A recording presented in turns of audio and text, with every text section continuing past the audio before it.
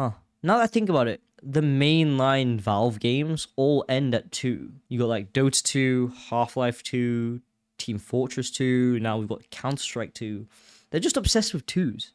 After weeks of trolling and teasing, Valve has officially announced Counter-Strike 2, and boy, does it look phenomenal. Hello and welcome back to another episode of Push to Talk, the series where I, Lewis, talk about particular topics in and around the gaming sphere to help keep you guys in the loop. I hope you guys noticed that I have a new microphone, so I should be sounding crisper than usual. But yes, Counter-Strike 2, or CS2 as it will commonly be referred to as. The tactical FPS community has been ecstatic ever since data miners found drivers referring to CSGO S2 and CS2 in Nvidia's latest driver update. That was about three weeks ago, and we were told that we would hear about CS2 within the next month or so.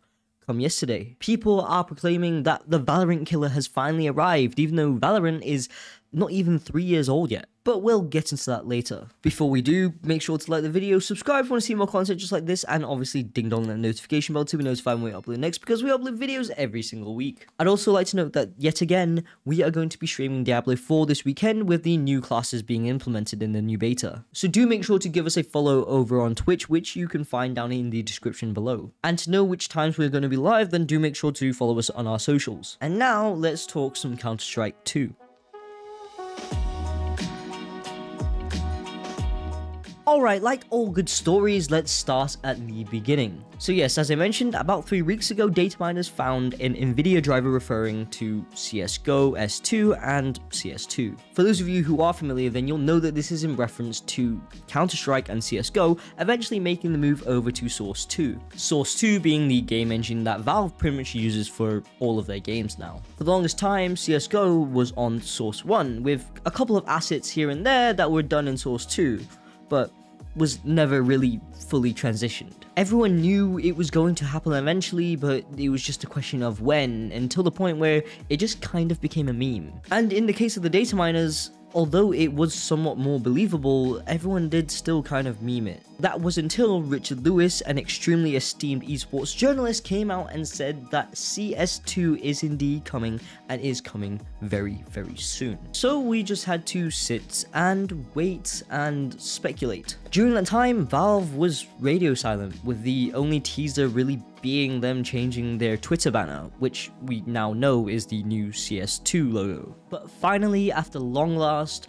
Valve finally announced Counter-Strike 2 yesterday. So let's talk about the changes that they confirmed in the announcement. The most notable and the most mind-boggling one as well, the smokes. The smokes are awesome. The way that they have engined smokes to act like actual real life smoke is incredible. It will physically and visually change the way the game is played entirely. You see, smokes now have the ability to interact with elements in-game, shaping around objects. I think that the most mind-blowing thing that we got to see in this announcement was the fact that these new smokes shape around bullets and completely dissipate with hand grenades. The way I like to think about it is kind of like a rock, paper, scissors kind of situation between Molotovs, smokes, and HE grenades. Smokes neutralize Molotovs, and HE grenades neutralize smokes. Now, smokes will seep out of open doorways and broken windows, go up and down stairs, as well as expand in long corridors and combine with other smokes. And that's kind of really it for the smokes. There's not a lot to go off of, but it's still amazing to see. Okay, let's move on to the next section of the announcement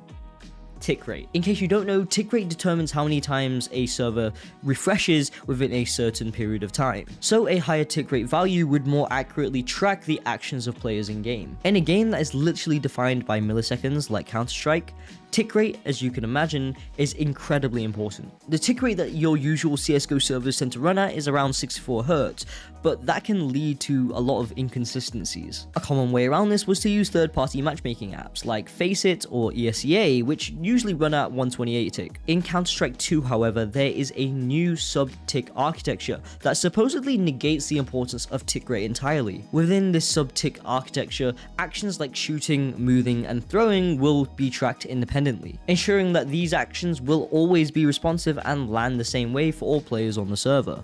But this will mean that any nade lineups that you may have learned in Valve official servers will no longer work as they used to run on 64Hz and these new ones will be running at 128. Next up, one question we've all had is whether or not the visuals will be upgraded or not. There will be a visual upgrade a significant one at that. Each and every map has been rebuilt from the ground up, all in higher res and brighter colors leveraging all of the new Source 2 tools and rendering features. All elements in the new maps utilize a physical based rendering system that produces realistic materials, lighting, and reflections. So all in all, everything just looks gorgeous. These new Source 2 tools and rendering features will make it extremely easy for community map makers to, well, do their thing and make maps. Which again is really good news as CS has a massive map making community. The visual effects have also received a massive upgrade, with bullet impacts being a lot more visible at range, as well as directional blood impacts which fade over time, along with much much more. The UI has also been overhauled to look a lot more modern. I think my favourite part from the new UI is when you get a kill, your kills stack up like cards on the bottom of your screen. They've also reworked and rebalanced how audio works in the game, which I think we'll have to wait and see because I don't think that was something that was in dire need of fixing. Oh yeah, and you can now see your legs, feet, and shadow. Something to note as well, in a now deleted tweet, Valve also mentioned that there was a bind to remove silencers from guns. What that essentially meant was that you could finally unbind your right click to undo your silencers on the M4A1S and the USPS. So goodbye to the days of clutch scenarios where you fat finger your right click. Chat, no way! It's real! they fucking did it, bro! Oh, oh my god, it's real, dude! No way! But the thing that I believe that everybody has been the most curious about skins. Will they carry over or will they not? The answer is yes. Yes, they will. On the official Counter-Strike 2 website, it states, bring your entire CSGO inventory with you to Counter-Strike 2. Not only will you keep every item you've collected over the years, but they'll all benefit from Source 2's lighting and materials. In addition to supporting legacy models and finishes, all stock weapons have been upgraded with high resolution models, and some weapon finishes take advantage of these new models. Not entirely sure what the last part meant, but yes, you don't have to worry, your entire skin collection is safe. With this announcement, CS2 is actually undergoing playtesting right now. Unfortunately, the playtest is limited to very few people of a certain undisclosed criteria. I think it's safe to say that eligibility for the playtest is kind of depending on whether or not you were loyal or active throughout these last three years. But don't worry, if you do want to watch some of the gameplay live, then you can literally just go on Twitch or YouTube and just watch any big old streamer. Now you may be asking yourself, how exactly is this transition going to work? Is it going to be a new game entirely, or is it going to be just an update? Well, yes, kind of. Think of it like Overwatch 2, because it's literally just going to be Overwatch 2. When Counter-Strike 2 does drop this summer, which it, it's dropping this summer, expect an extremely large update which will just overhaul the entire game's branding. That obviously begs the question, will you be able to play CSGO after Counter-Strike 2 has been released? Probably not, unfortunately, but I don't think you'll need to. It's essentially the same game with a couple tweaks here and there. Yes, the entire code behind the game has been completely redone, but it's meant to play almost exactly the same, if not better than CSGO. So there shouldn't be a need or want for you to actually want to play an older version of the game. Obviously, there is a chance that CS2 will be worse than CSGO, but I think the thing you need to understand is that CS2 is running on Source 2 and will be a lot more easier to fix than CSGO. So yes, touch wood, it is possible for CS2 to be worse, but even if it is, I wouldn't worry too much about it. Another thing that people have been proclaiming is that this will be the Valorant killer. I just don't think that's the case though. I don't get why it's so hard for people to kind of grasp the idea that Counter-Strike and Valorant can coexist kind of like how Dota 2 and League of Legends have for years. It's either you play one or you play the other, or you play both. You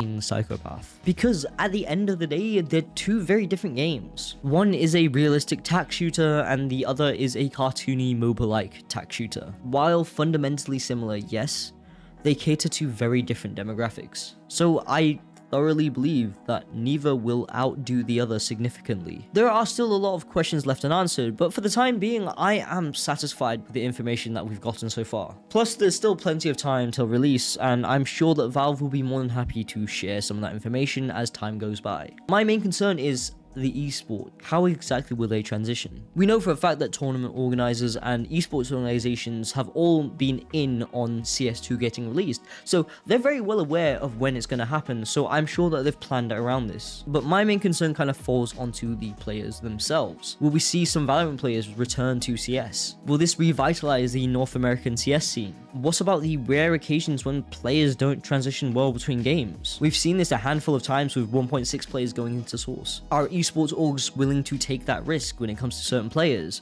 Will they even care? Again, only time will tell. And that's it for Counter-Strike 2 do let me know your thoughts down in the comment section below. Are you guys looking forward to it? Do you guys get access to the playtest?